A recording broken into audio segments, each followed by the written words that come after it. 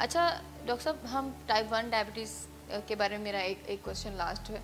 ये बताइए कि किसी को कैसे पता चलेगा कि वो प्री डायबिटिक है? अभी आपने बताया तो है लेकिन क्योंकि टाइप वन के हवाले से। टाइम वन टाइम हाँ ये जो अभी बात हम कर रहे थे प्री डायबिटिक की ये जो ब्लड शुगर वैल्यूज़ की बेस पे है इसको हम टाइप टू के लिए स्क्रीनिंग में यूज़ करते हैं। जी।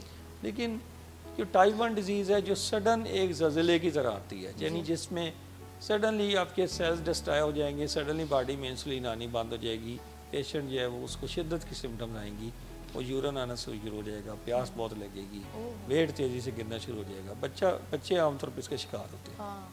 तो क्या हम ऐसा कर सकते हैं कि भाई हमें आइडिया हो जाए कि ये हाँ। बच्चे में टाइप वन डायबिटीज़ डेवलप होने का चांस है? अच्छा ये रिसेंटली कोई है ना रिसेंटली इस पे काम काम हुआ है। तो इसमें कुछ एंटीबॉडीज़ हैं उनको हम कहते हैं एंटी गैड है एंटी इंसुलिन एंटीबॉडीज़ हैं ये एंटीबॉडीज़ का सारा खेल हाँ, तो अगर आप इन एंटीबॉडीज़ को डिटेक्ट करते हैं फिर दोबारा चेक करते हैं कि एंटीबॉडीज़ प्रसिस्ट कर रही हैं और उसी लेवल पे ऊपर जा रही है। तो इसका मतलब है इस बच्चे में टाइप वन डायबिटीज़ डेवलप होने का रिस्क है।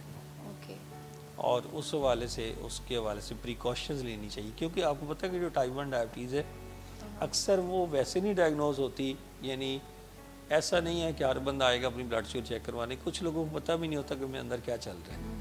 तो बच्चों में चूँकि वॉमिटिंग बड़ी कॉमनली गैस्ट्रोएंटाइटिस की वजह से भी हो जाती है तो माँ बाप उसको इग्नोर कर सकते हैं। उससे कॉम्प्लिकेशन हो सकती है। वॉमिटिंग जो मतली आना है उल्टियाँ आनी हैं ये सारी डायबिटीज़ की गशी की इलामत भी हो सकती है। ये उसकी पहली स्टेज हो सकती है।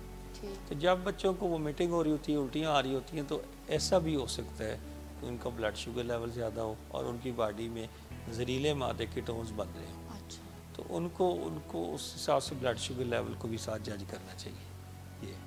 ठीक है। तो ये एंटीबॉडीज़ अगर हम टेस्ट कर लेते हैं तो और हमें आइडिया हो जाएगा कि ऐसे बच्चे at risk of diabetes type one diabetes ठीक है डॉक्टर साहब हमारे क्वेश्चंस जो मैंने आज पूछने थे इस टॉपिक से रिलेटेड वो तो ख़त्म हो गए लेकिन मेरा एक फिर भी एक आखिरी सवाल है शायद आपने प्रोग्राम में मुझे अब लगता है कि वो हमने ज़िक्र नहीं किया कि किसी शख्स को टाइप टू में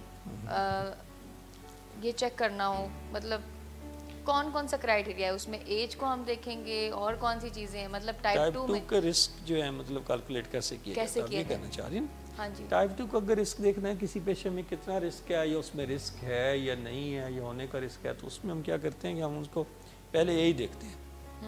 फ़िज़िकल जितने अफराद 40 से 50 में हैं उसको एक मार्क दे देते हैं। ओके यानी और उससे कम है तो ज़ीरो देते हैं। और इसी तरह मोर देन 50 एज है तो उसको टू मार्क्स दे देते हैं। अच्छा बढ़ता गया ना खतरा। रिस्क बढ़ गया फिर इसके बाद मेल और फीमेल का अगर मेल है तो उसको एक पॉइंट है फीमेल है तो ज़ीरो पॉइंट मेल्स में ज़्यादा होता मेल में ज़्यादा होती है टाइप टू की बात है। अच्छा फिर थर्ड नंबर पे हम देखते हैं कि उस पेशेंट की फैमिली हिस्ट्री में डायबिटीज़ है या नहीं है। किसी बहन भाई को डायबिटीज़ है या नहीं है। अच्छा। इसका एक पॉइंट है। अगर नहीं है तो ज़ीरो पॉइंट्स है। अच्छा। अगर कोई फीमेल है और उसको प्रेगनेंसी में डायबिटीज़ हुई है हैमल के दौरान हुई है तो ये भी एक नंबर है उसका।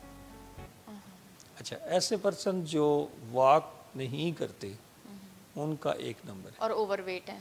और फिर है कि वेट के ऊपर जो बी एम आई जिनका ज़्यादा है उनका भी एक नंबर है। तो ये टोटल अगर कोई पर्सन फाइव निकालें। फाइव नंबर ले जाता है तो वो फेल ही हो गया एक तरह से।